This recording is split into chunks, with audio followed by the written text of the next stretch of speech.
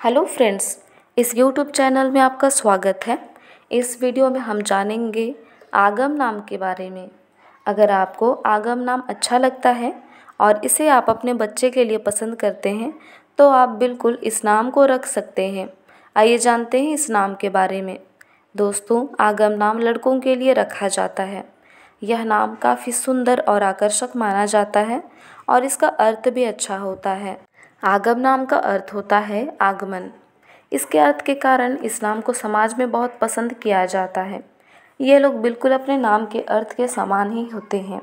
ये लोग ऐसा कार्य करते हैं जिससे इनको प्रसिद्धि मिलती है और खूब मान सम्मान भी मिलता है। इनका धर्म हिंदू धर्म होता है। इनका शुभ अंक चार और इनकी राशि मेष राशि होती है। इसी के साथ इस वीडियो में बस इतना ही। Thank you so much for watching my video.